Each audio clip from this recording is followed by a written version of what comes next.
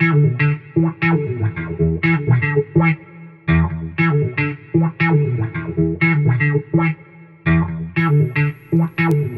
folks and welcome to your video lecture on blood. Blood has many vital functions in the body. It's a complex mixture of cells, cell fragments, and dissolved substances. The average human weighing about 150 pounds would have about five and a half liters of blood in their body.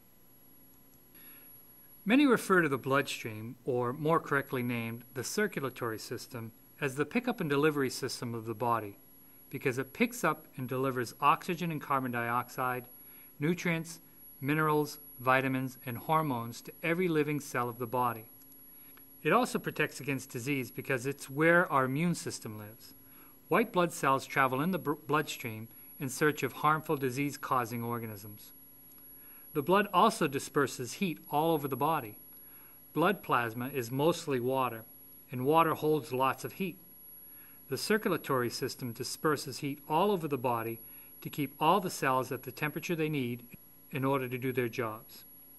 And when blood leaks out of the blood vessels, the blood has platelets that react to stop the bleeding.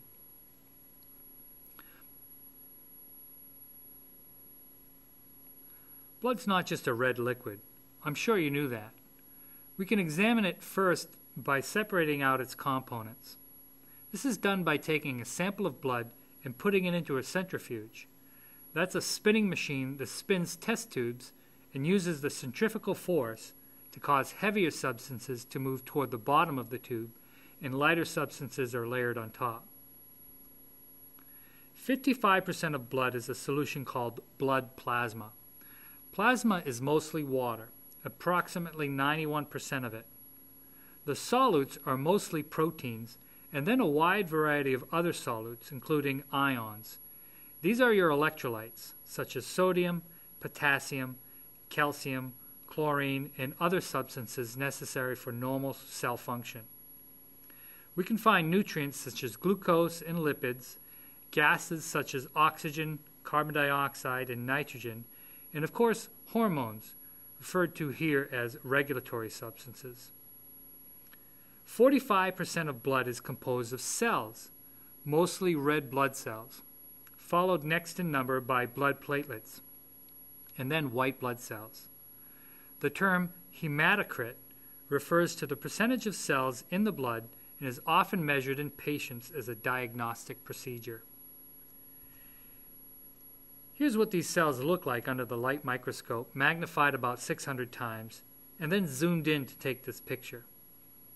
These are red blood cells. They're disc shaped and thinner in the middle, so light passes through them here. Here are some white blood cells, and here are blood platelets. Platelets are actually not complete cells, but actually cell fragments that have an important job in your body. The term hematopoiesis means blood cell production. When you are a developing embryo, your first blood cells were produced in a yolk sac. This pretty much disappears after about four weeks of development. It also provides some nutrients to the embryo. After the embryo is formed, hematopoiesis is taken over by the red marrow of the bone. Red marrow is found in all bones, particularly in the spongy or cancellous bone. You might remember that there are two types of bone marrow yellow marrow, which is actually fat tissue, found in the medullary cavity of the long bone's diaphysis. Yellow marrow does not make blood. Blood is only made in the red marrow of the epiphyses of long bone or in flat bone. Blood is considered a connective tissue because its cells develop from mesenchyme, the embryonic connective tissue. Mesenchyme develops into hem- hemocytoblasts or hematopoietic stem cells, which will differentiate into each of the blood cell types erythrocytes, leukocytes, and thrombocytes. I'll talk about each one of these in more detail. The clinical name of a red blood cell is an erythrocyte. Here you can see its dimensions. These dimensions are not worth memorizing, but I'll show you them here just for reference. Standard printer paper is about 100 micrometers thick. So a stack of about 50 red blood cells on top of each other would equal the thickness of paper. That's kind of cool. A mature human erythrocyte has no nucleus, and these cells are squishy like foam rubber. They're biconcave, which refers to this indentation in their center, and this shape increases their surface area. Their function is to pick up oxygen at the lungs and deliver it to each body cell. The oxygen is necessary for cell respiration, the energy production reaction in cells. In exchange for oxygen, the erythrocytes take carbon dioxide from each cell and dump it off at the lungs. Each erythrocyte has an abundance of oxygen carrying molecules called hemoglobin to do this work. Hemoglobin gets its name from the iron containing compound heme. Heme gives the blood its red color and is part of a larger complex called hemoglobin. Hemoglobin has an affinity for oxygen and each molecule will hold up to four oxygen molecules. Now, hemoglobin doesn't hold the oxygen too strongly. It actually loses it by diffusion as the cell enters an environment that has a lower concentration of oxygen. Hemoglobin handles carbon dioxide the same way.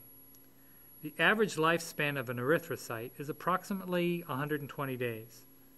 The number of these cells in the body is monitored and controlled hormonally. The liver and the kidneys detect low oxygen levels in the blood and will release a hormone called erythropoietin.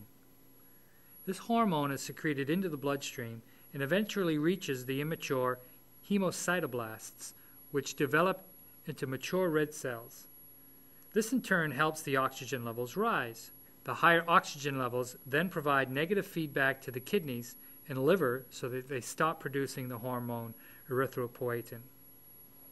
Like any hormone, erythropoietin targets receptors on the hemocytoblasts, causing a cascade of signals inside the cell that cause it to change and mature. Your body needs plenty of B complex vitamins and a nutrient called folic acid to make the DNA necessary for the cell division. You also need an adequate amount of iron to construct the hemoglobin molecule. Not enough iron, B complex vitamins, and folic acid could lead to anemia, which is a condition of low blood cell count, and I can talk about that in another video. Other types of cells are leukocytes, or white blood cells. These are the cells of the immune system. We're not here to learn about the immune system, though. I can cover that in another unit because the way it works is just too complicated to go into here. But I can talk about the different kinds of leukocytes. They're not all created equally, and they have different functions. There are two classes granulocytes, so named because of the grainy appearance of the lysosomes inside of them. These cells can perform diapedesis, which means that they can pass through capillary walls and move through the tissue to find damage or infection. Three types of granulocytes exist there are neutrophils and eosinophils. These act as macrophage cells that can engulf or phagocytize and destroy damaged cells or bacteria. They have a lifespan of about 12 hours once they've converted into macrophages. These are the cells that build up as pus at an infection site. Another granulocyte is the basophil, which can release a few different signaling chemicals. Agranulocytes are cells with fewer lysosome grains. The two types of these cells are monocytes that also act as macrophage cells, but can also process antigens. Those are foreign proteins that can be used to make antibodies in the immune system. Monocytes have a lifespan of about two to three days.